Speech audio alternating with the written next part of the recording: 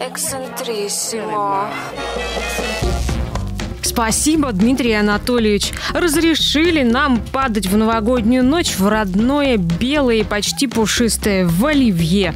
Те, кто привык его есть, должны его есть, сказал премьер. Хотя сам традиционный новогодний салат не особо уважает и встречать с ним выборный 2018 не собирается.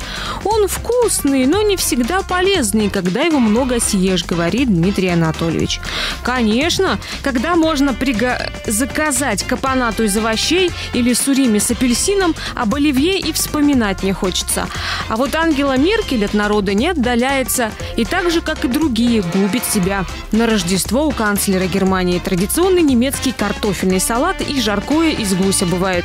Традиционный – это вареная картошка с маринованным огурцом, ну и мясо, не очень далеко от презренного оливье.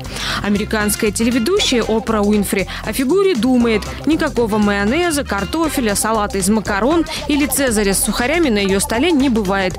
28 килограммов она потеряла на очень простом салате. Яблоки и капуста. 3 миллиарда долларов состояние. И чувствует себя настолько же. Ну а вы держитесь. И с наступающим. По-настоящему тонкий вкус демонстрирует молча салоны «Остров сокровищ». Стильные коллекции часов по доступным ценам. Эксцентриссимо.